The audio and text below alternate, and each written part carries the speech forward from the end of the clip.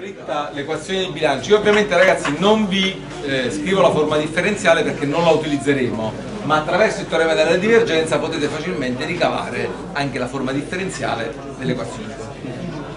Ora, ehm, per quanto riguarda la forma integrale, possiamo anche diciamo, a questo punto fare la derivata sostanziale della grandezza energetica tecnica. Bene. Allora, la variazione di energia, ragazzi, ancora una volta l'energia è una grandezza conservativa, però attenzione, la derivata sostanziale non è zero. Perché non è zero? Perché ho i flussi diffusivi. Allora, i flussi diffusivi, come li ho chiamati, ragazzi? Poi, quali sono i due flussi diffusivi che ho? Sono questi stessi che avevano i sistemi chiusi. Quindi, questo è uguale ho scritto Cumeno L, attenzione però adesso, perché Cumeno L, perché è sbagliato questa relazione? Innanzitutto è sbagliata dimensionalmente, vi trovate? È sbagliata dimension convenzione del sto sempre applicando la convenzione del segno, sono scrivo sommatoria del cocoliccio. Però al di là di questo non potete scrivere le equazioni di bilancio in questo modo, perché? Perché lì, diciamo, nei sistemi chiusi la facevo per un tempo finito e quindi facevo il delta di energia. Adesso poiché tutto sta cambiando nel tempo e nello spazio, lo faccio per un istante di tempo questo bilancio, così come ho fatto sulla massa, per un, per un secondo. Bene, quindi faccio il DE nel tempo, nel tempo unitario. Quindi questo cosa rappresenta? Q. È la quantità di energia in un tempo unitario che sta entrando. Come si chiama? L'energia per unità di tempo che entra, come si chiama? La potenza termica. Quindi metterò un puntino qua sopra a indicare non più la quantità di energia, che entra diciamo, nel mio sistema, pardon, quantità netta, quindi stiamo parlando di ciò che entra meno ciò che esce. Ne, quindi, ma parlerò di quantità di energia per unità di tempo, quindi è la potenza netta entrante. Va bene? Ricordatevi che entrante non stavo per dire tutto quello che esce non, ne, non lo considero, ma solo per ricordarmi la convenzione del segno. Quindi è sempre ricordatevi tutto ciò che entra meno tutto quello che esce.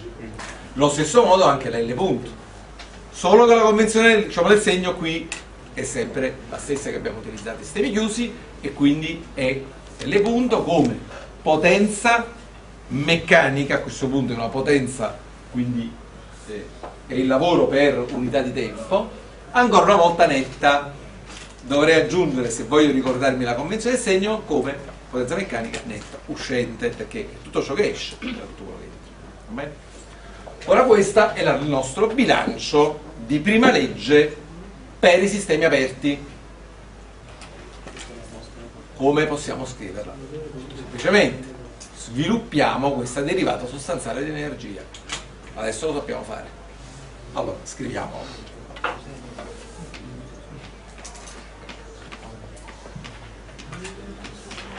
Ditemelo voi ragazzi, forza.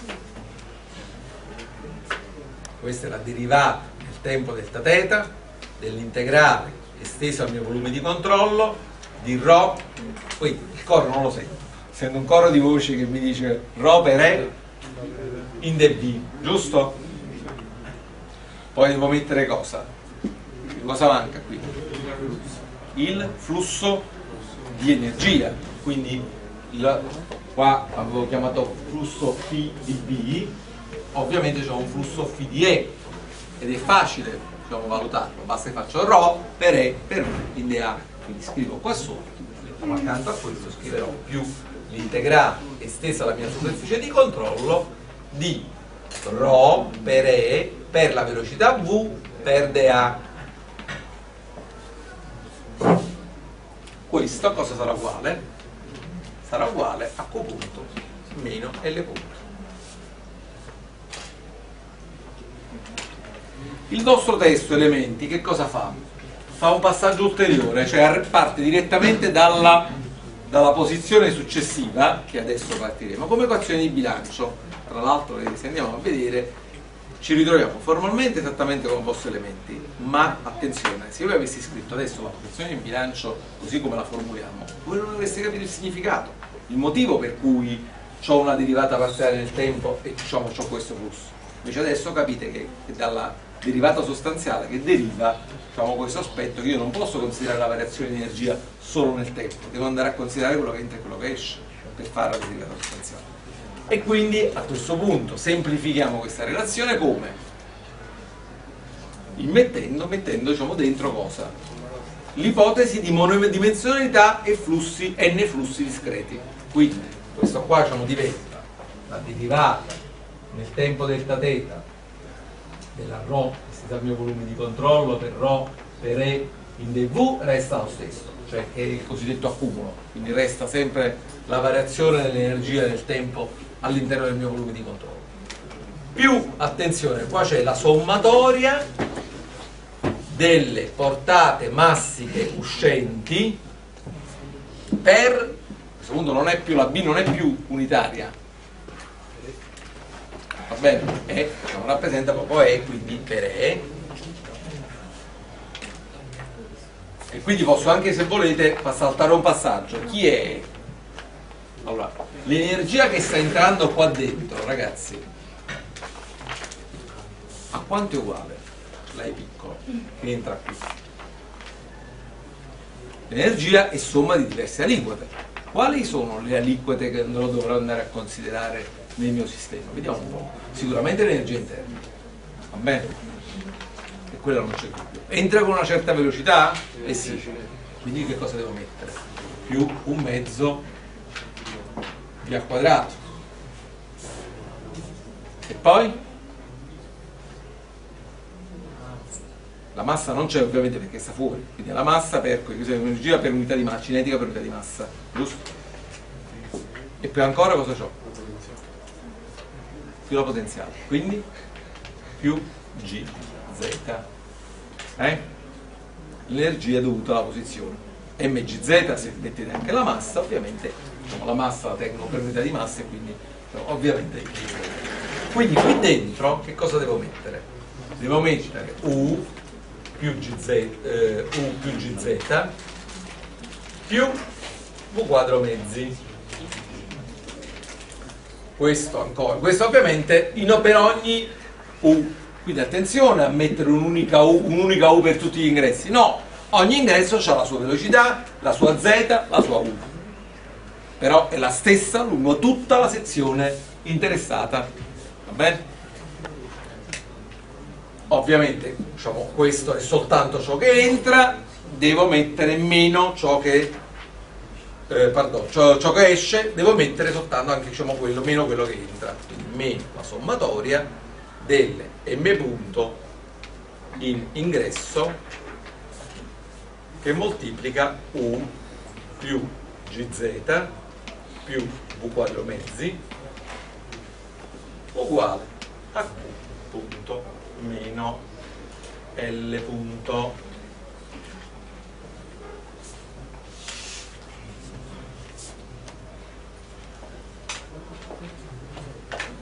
C'è ancora una piccola cosa che posso fare, una piccola modifica a questa relazione. Attenzione perché il lavoro, noi l'abbiamo visto come il lavoro di, diciamo, di, diciamo, di variazione di volume. Qui di fatto non ho una variazione del volume, il volume di controllo resta costante. Quali sono i lavori che posso scambiare in modo reversibile con questo sistema? Vediamo un attimo. Cioè, se io qui dentro volessi vedere, guardiamolo qua, che poi diciamo, qui è più semplice, guardiamo con un solo ingresso, solo uscito. Secondo voi, qui i lavori che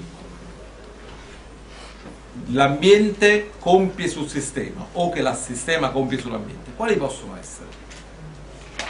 Allora, secondo voi, questo lavoro che diciamo, il fluido che sta qui compie sul sistema per entrare all'interno, ci sta o non ci sta? Cioè io per far entrare il fluido devo spingere con una certa pressione, quindi pressione per aria, forza, per lo spostamento che diciamo, devo fare per portare tutto il fluido all'interno. Questo lavoro si chiama lavoro di pulsione. Va bene? Scrivetevelo, lavoro di pulsione. Allora, e ovviamente questo lavoro di pulsione ce l'ho in ingresso ma ce l'ho anche in uscita. Ovviamente in ingresso il lavoro com'è? È compiuto dall'ambiente sul sistema, qui, perché io devo spingere sul sistema per far entrare il fluido. Qui è il sistema che lo compie sull'ambiente. Quindi una, parte è positiva e un'altra parte è negativa. Beh, noi abbiamo messo positivo quando ovviamente è la parte uscente, negativa la parte entrante. Bene? Perché abbiamo preso il lavoro ovviamente positivo quando è il sistema che lo compie sull'ambiente. Vogliamo scrivere la funzione della relazione? Scriviamo questo lavoro di riduzione. Lavoro è ovviamente, abbiamo detto che, eh, scriviamo qua,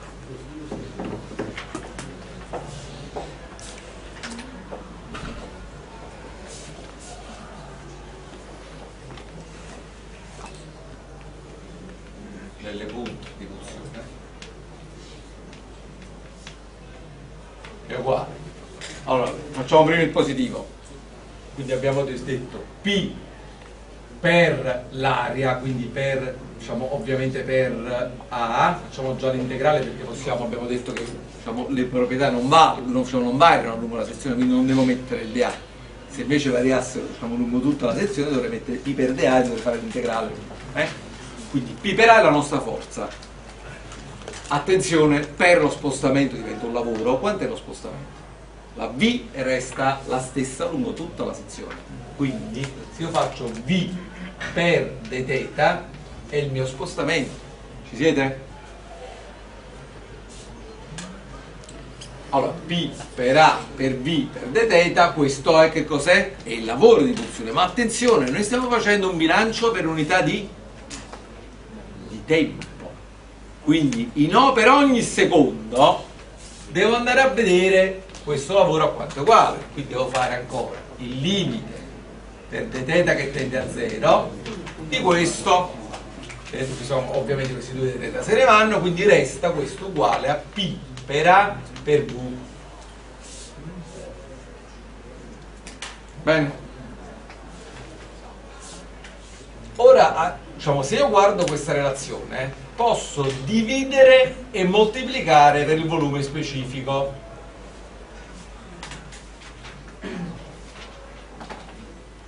P per V che moltiplica A per V diviso V ma A per V diviso V chi è?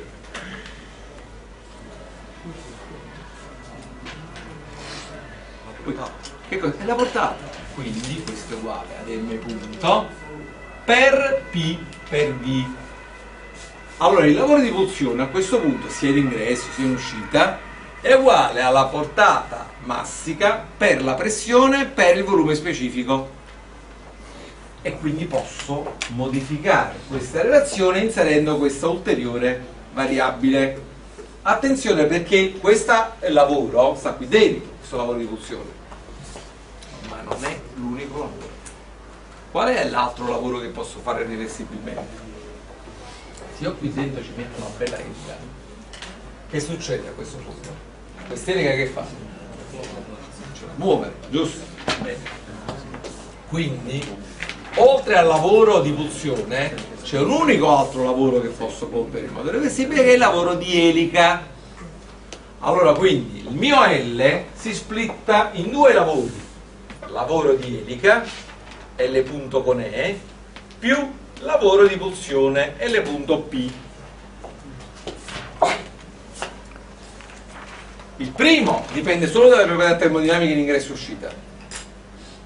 Il secondo, cioè diciamo il secondo, pardon. Il primo, invece il primo, il lavoro d'elica, ovviamente dipende, non è diciamo, legato alle proprietà termodinamiche, quindi non potrò fare altro che lasciarlo così com'è. Allora, è chiaro che per ogni ingresso e per ogni uscita io qui avrò n lavori di pulsione, quindi poi avrò sommatoria.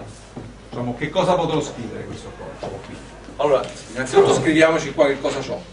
Qua cosa ho? La sommatoria dell'm punto, attenzione, eh, perché i lavori di pulsione come l'ho considerato? Positivo? Uscente, quindi ho la sommatoria per le uscite U. Ovviamente eh, l'L punto diciamo, con P, un sommatorio per le uscite, diciamo, per le uscite U, di M punto per P per V. Meno la sommatoria dell'M punto per P per V ovviamente per ogni ingresso I. Attenzione ai segni perché sennò ragazzi vi imbrogliate. Va bene? Questo è il lavoro di pulsione. ovviamente per tutte le uscite e per tutti gli ingressi devo scrivere questo ora guardate un poco io per ogni uscita qua ho le stesse sommatorie uscita e ingresso qua c'ho un meno davanti quindi se le porto da quest'altro lato questo è meno sommatoria uscita più in ingresso se le porto lato i segni sono gli stessi quindi che cosa posso fare? come posso riscrivere questa relazione? sommando qua dentro anche cosa? sommando PB va bene? quindi faccio riscriverò questa relazione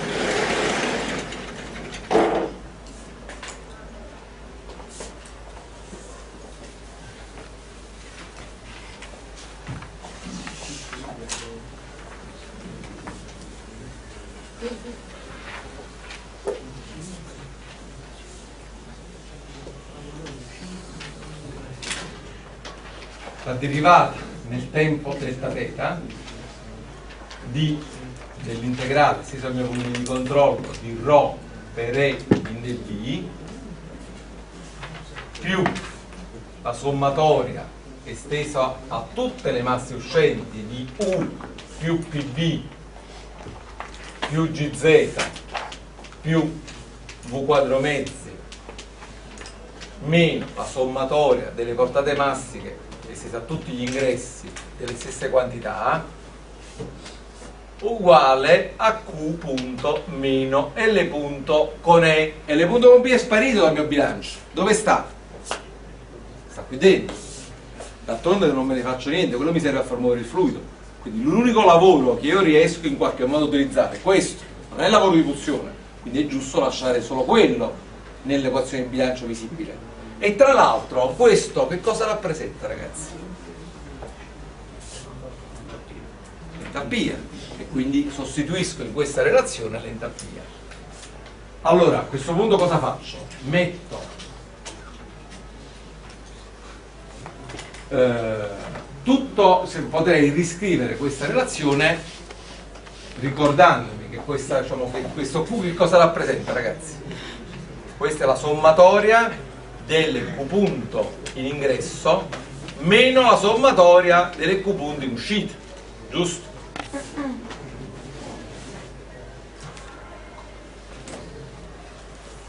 E questo cosa rappresenta L con? La sommatoria di tutti i lavori L punto di elica in uscita meno la sommatoria di tutti i lavori di elica in, lavori di elica in ingresso. Se lo voglio riscrivere come equazione di bilancio, questa relazione come si scrive adesso? Riscriviamola. Allora, mettiamo sommatoria del Q con I, quindi tutto quello che entra sommatoria di pubblico ovviamente entra anche diciamo, il lavoro delica in ingressa perché per meno per meno fa più e quindi posso mettere accanto a questo che è un valore assoluto più la sommatoria dei lavori di eliche in ingresso e questo diciamo ci sta attenzione mi porto questo da quest'altro lato diventa di nuovo positivo va bene? quindi più la sommatoria del m punto in ingresso per h più gz più v quadro mezzi questo sarà, cosa sarà uguale? porto tutti i termini in uscita dall'altro lato dell'equazione quindi trovo, mi ritrovo l'Q punto in uscita sommatoria delle potenze termiche Q punto in uscita più la sommatoria dei lavori di elica lavori di potenze di elica in uscita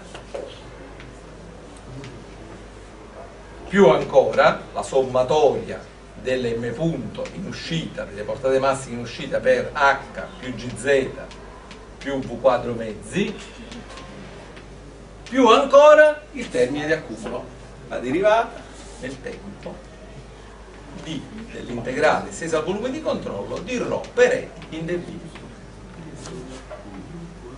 Questa è l'equazione di bilancio che trovate scritta così, bella impacchettata all'interno del vostro testo elementi. Scritta come bilancio, ragazzi, e non più come, ovviamente, non guardando alla genesi di questa relazione.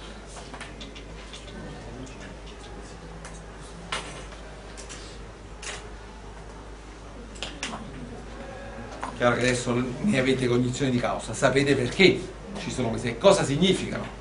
Ognuno di questi termini ha un suo significato. Allora, attenzione, diciamo, rispetto al bilancio che diciamo, abbiamo visto già nei sistemi chiusi, che cosa è cambiato? Nei sistemi chiusi avevo ancora tutto quello che entrava, tutto quello che usciva, termine di accumulo. Va bene? Allora, intanto il termine di accumulo qui diciamo, ce l'ho ancora all'interno del mio volume di controllo, però attenzione lo devo fare come integrale.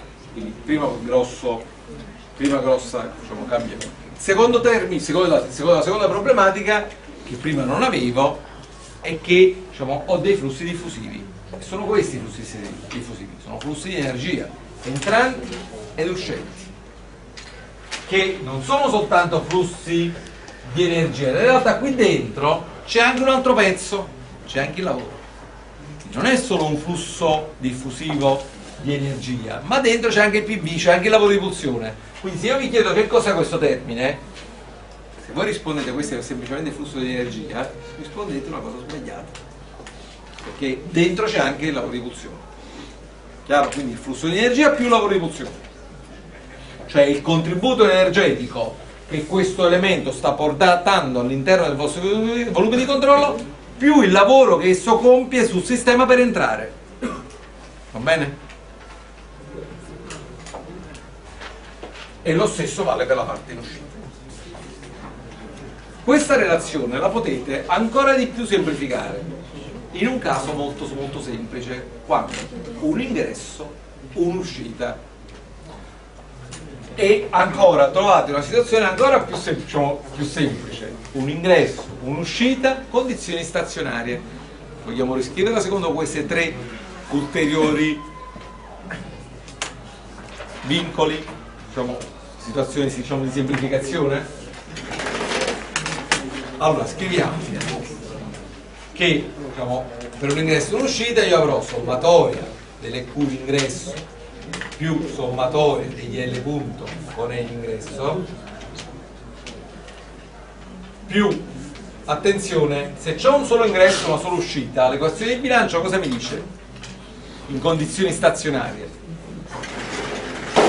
ho già cancellata era la sommatoria ricordo che la sommatoria delle portate massiche in ingresso uguale alla sommatoria delle portate massiche in uscita più, l'integrale più la derivata nel tempo dell'integrale stesso volume di controllo di Rho diciamo bene in condizioni stazionarie e un ingresso e un'uscita come si descrive questa relazione ragazzi? condizioni stazionarie cosa vuol dire?